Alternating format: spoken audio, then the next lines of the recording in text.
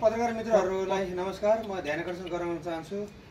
आज एकजना बिरामी ब्लड क्यान्सर भएको रहेछ र उहाँ उदयपुर जिल्लाको उदयपुर स्थायी घर भई धरान उपमहानगरपालिका वडा नम्बर आठ अरुण टोलमा बस्नु हुँदो रहेछ र उहाँको आर्थिक अवस्था अत्यन्त दयनीय अवस्थामा भएको वर्ष उन्तिसको एकजना व्यक्ति उहाँको उपचारको लागि अत्यन्त आर्थिक नाजुक भएको कारण गर्दाखेरि उहाँको अत्यन्त सानो बच्चा अढाई महिनाको पनि छ जम्मा चारजना छोराछोरी छन् र अहिले काठमाडौँमा उपचार भइरहेको कारणले गर्दाखेरि एकपटक केमोथेरापी गर्नको लागि तिन लाख रुपियाँ र टोटल उपचार गर्नको लागि लगभग लगभग पचास लाखसम्म लाग्छ भनेर सिभिल हस्पिटलले भनिसकेपछि उहाँहरू आर्थिक सहयोगको लागि हार गुहार गर्दै हुनुहुन्छ। त्यसै क्रममा धरानमा फेरि पनि उहाँहरू आउनुभएको छ।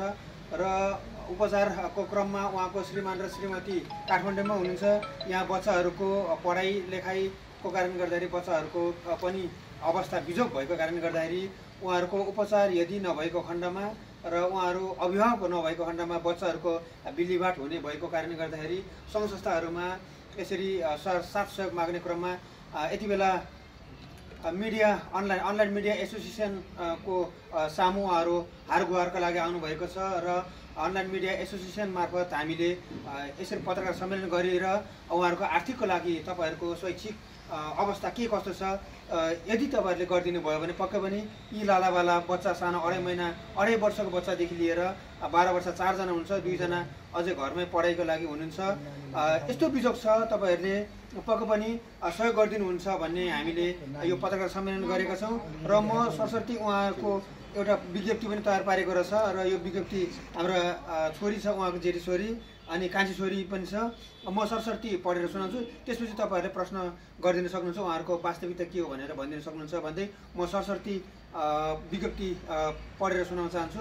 आदरणीय पत्रकार मित्रहरू उदयपुर जिल्ला उदयपुर गढी गाउँपालिका वडा नम्बर पाँच क्यौरेनी घर भई हाल धरान उपमहानगरपालिका वडा नम्बर आठ अरुण टोलमा आमा निशा श्रेष्ठ मगर र हामी चार छोरा छोरी मध्ये एक छोरा पनिस केप्साकी मगर र तिन छोरीहरू म जेठी छोरी रोशनी मगर माइली पसिना मगर र कान्छी प्रतिमा मगरलाई ज्यामी मजदुर गरी परिवारको जीविकोपार्जन गराउँदै आउनुभएका उन्तिस वर्षीय बुबा प्रदीप केप्साकी मगर ब्लड क्यान्सर भई सिभिल हस्पिटल काठमाडौँमा उपचार गराइरहेको र एकपटक किमोको लागि रु तिन लाख र पूर्ण उपचारका लागि चालिसदेखि पचास लाखसम्म लाग्ने अस्पताल प्रशासनले जानकारी गराएकोले हाम्रो आर्थिक अवस्था अत्यन्त नाजुक भएका कारण बुबाको उपचार अघि बढाउन गम्भीर चुनौती आएको छ।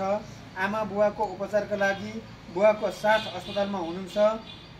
हामी चार सन्तानमा म जेठी छोरी चौध वर्ष म जेठी छोरी भन्दा नै बहिनी हुनुहुन्छ।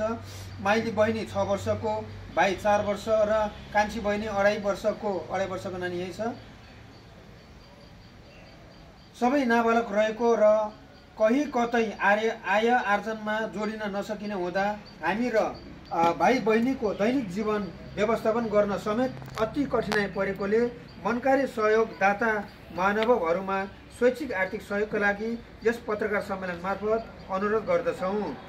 हाम्रो परिवारमा खनिएको यो क्रूर वज्रपातप्रति मानवीयताको गहिरो दयाभाव राखी सहयोग गरिदिनु अनुरोध गर्दछौँ।